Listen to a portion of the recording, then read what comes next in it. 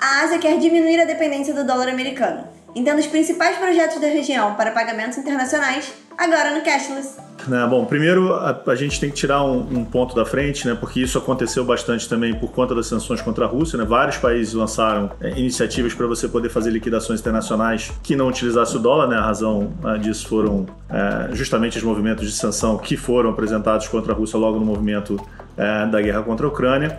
Se falou muito da China e da Índia nesse movimento, né, nesse momento. Só que, na verdade, o que a gente está falando são situações que envolvem um objetivo de você aumentar o comércio regional. Né? E eu acho que é dentro dessa lógica que está entrando com o Brasil, de aumentar o comércio. Né? O regional não, porque estamos em outras regiões, mas a lógica é um pouco você conseguir viabilizar e trazer alternativas financeiras para você liquidar pagamentos internacionais, saindo um pouco do dólar para reduzir, como você falou, o custo de transação. Mas, enfim, é, é, esse é um processo que tem acontecido bastante nos últimos dois dois anos, né, três anos, tanto que você viu o Banco da China, Banco Popular da China, assinar um acordo com o BIS para você fazer um esquema de liquidação em yuan, e aí envolvendo bancos centrais de vários países asiáticos, né, Indonésia, Malésia, Malásia, Hong Kong, Singapura e um país aqui da América Latina que é o Chile. E a ideia de você ter, ver, ver esse movimento da China começar a se espraiar por outros perfis de países também tem acontecido. Na verdade, tem relações bilaterais acontecendo, ou multilaterais até acontecendo, envolvendo outros países asiáticos. Né? A Índia talvez seja um dos principais exemplos, né? tem um novo mecanismo para você conseguir fazer essa liquidação de transações internacionais, aí fez Índia e Indonésia. Tem um outro que é bastante. É, a gente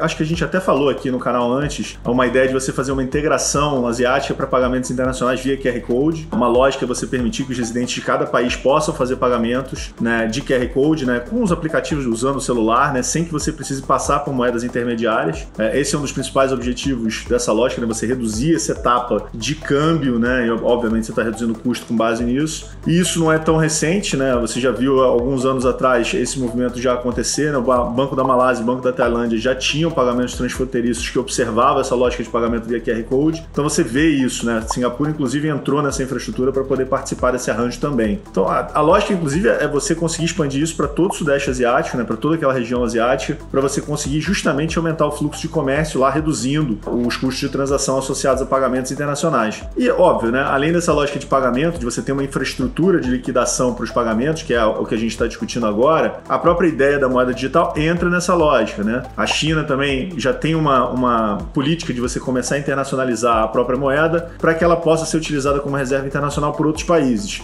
é, essa ideia de você criar sistemas de reservas de liquidez em yuan. Vários bancos centrais asiáticos entraram nisso, tem uma expectativa de novos signatários em pouquíssimo tempo e algumas participações é, de países fora do cenário asiático também são esperadas para que você consiga, inclusive, de você fazer esse efeito de não colocar é, todos os ovos numa cesta só e você começar a diversificar suas reservas internacionais. A gente falou sobre até o projeto de yuan digital como uma forma de você chegar nisso, né? Inclusive para o pessoal aí da edição botar aí o link para yuan digital para a gente poder fazer essa discussão e entender. Mas o exemplo que a gente já falou aqui no canal é o próprio Israel, que é um aliado histórico dos Estados Unidos, começou uma política de elevar a participação do yuan é, nas suas reservas justamente é, em detrimento do dólar, em detrimento do euro. Lógico que a gente está longe do movimento de substituição, mas mais como uma um perfil de você conseguir reduzir um pouquinho a dependência dessas moedas mais macro, né, do euro e do dólar, para você começar a diversificar, sobretudo levando em consideração o fluxo de comércio que você tem com a Ásia, em especial com a China.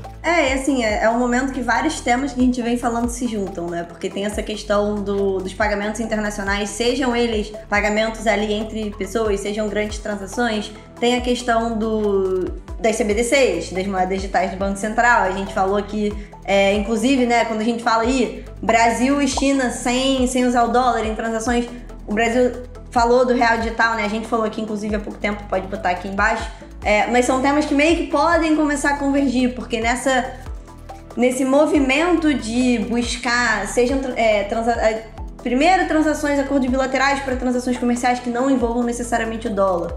É, existe essa pergunta no ar de se em algum momento isso que não é ainda né, um, um sistema de pagamento entre esses países conjunto, não é, é uma, é, é, mas existe essa pergunta de se as CBDCs vão permitir que esse tipo de lógica se amplie.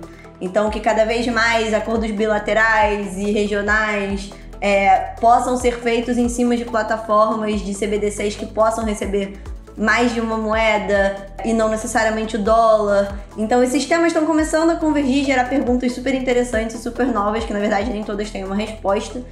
Mas existe uma relação na medida que o próprio BIS tem estimulado projetos para entender a viabilidade, né, para viabilizar infraestruturas e plataformas de CBDCs de múltiplas. Então, para que os países possam construir e ter aonde fazer ali suas transações, sejam elas comerciais ou não, mas fazer suas transações com suas próprias moedas nas versões digitais. Então, assim, chamou bastante atenção é, é, os pilotos que o BIS vinha fazendo. Então, um envolvia Austrália, Malásia, África do Sul, Singapura, vários bancos comerciais eles encontraram nesses projetos alguns desafios, né? Então, assim, quem vai ter acesso, né? Se você faz uma plataforma multiplataforma com várias moedas, quem tem acesso? Qual é o fluxo dos pagamentos? É como que é a governança? Se tem várias jurisdições? Tem muitas dificuldades, mas dentro desse piloto eles identificaram que era sim possível você criar, usar tecnologia, novas tecnologias para criar, criar mecanismos de governança entre os bancos centrais que fossem viáveis. Então, assim, é um momento que a discussão de CBDC, né, um dos principais casos de uso que está sendo discutido principalmente em, em países que já têm sistemas de pagamento bem desenvolvido, a grande dor que permanece é qualquer tipo de transação internacional. Então a discussão do CBDC está caminhando muito nessa direção. O BIS tem vários projetos nessa direção. Um que se destacou, a gente falou aqui, é esse projeto Dumba.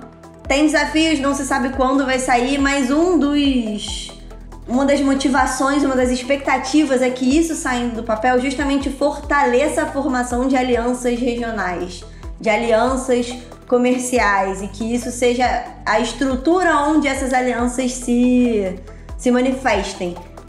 E se elas se manifestarem forem possíveis, provavelmente nessa busca por uma redução da dependência do dólar, elas sejam feitas sem necessariamente envolver o dólar. Por isso que a pergunta do dólar digital fica super forte ok, esse movimento existe, essas infraestruturas estão sendo pesquisadas. Se elas acontecerem e existe esse interesse de reduzir a dependência do dólar, o dólar vai participar disso tudo? No ano passado, em 2022, né, isso foi percebido, chegou a ter um comitê da Câmara dos Estados Unidos falando, né, até de forma unânime, que era importante ter um dólar digital, até por eles perceberam, né, que existe essa busca por redução dessa dependência e que seria importante ter um projeto de dólar digital para isso. O Fed chegou a se mexer, mas a verdade é que tudo nos Estados Unidos com relação a inovações financeiras tem vários vais e voltas que a gente não consegue nem sempre identificar em que pé tá. Mas quando terminou ano passado, essa percepção de que o mundo estava caminhando nessa direção já existia. Aí agora tem que ver para onde que eles vão.